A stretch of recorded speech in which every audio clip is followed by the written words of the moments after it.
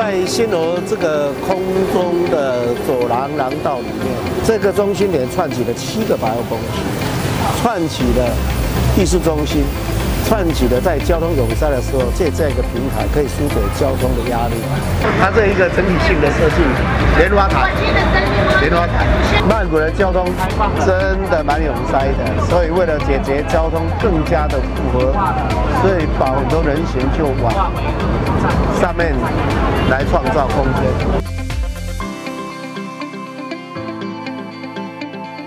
这是曼谷。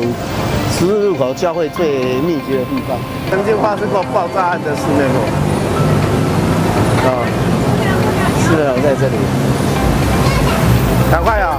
要求什么的，赶快去拜一拜吧。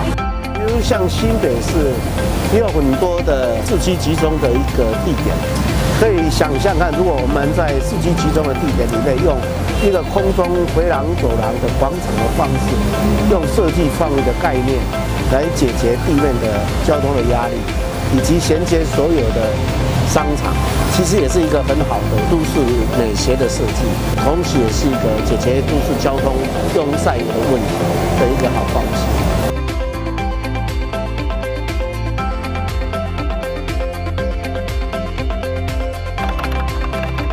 今天我跟新北市的各级事务所长，还有企业的好朋友一起来参观。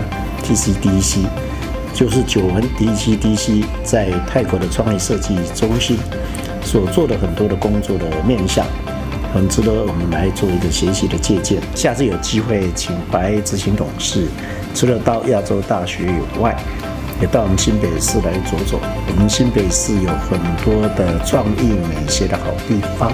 其实新北市可以做城市的设计美学，周周有设计美学。而且区区有设计，用这样的方式，把新北市的整个城市美学整个翻转过来，既有传统又有新的创意，这才是最好的一个城市的翻转。